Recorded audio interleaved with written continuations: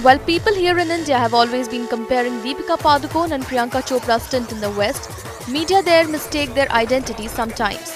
A video surfaced on the social media saw local media outside Los Angeles airport confusing Deepika to be Priyanka as she stepped out. The leggy lass, however, did not respond to the greetings Hello Priyanka and continued walking towards her car. On a related note, this is not the first time that the Piku star was referred to as the Quantico actress in the West.